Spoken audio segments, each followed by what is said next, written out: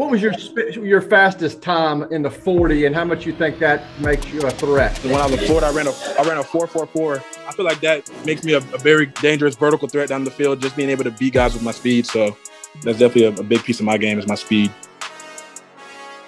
I can, I can line up outside. I can line up in the backfield. I can line up in the wing. I can line up with my hand in the dirt. I can run routes. I can block from any position. So I feel like versatility is definitely my number one thing. Right on cue, Danny. Nicely done by Okonkwo.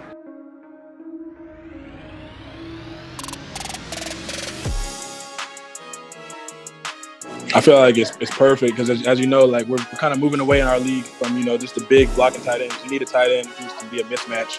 Just as the way the game is evolving, there's so much speed involved in the game now. So you want a tight end who can who can win those those matchups, and I feel like I, am that person who can win those matchups and beat people with speed and just make plays for us. Uh, so I want to be known as a, as a complete player, complete tight end.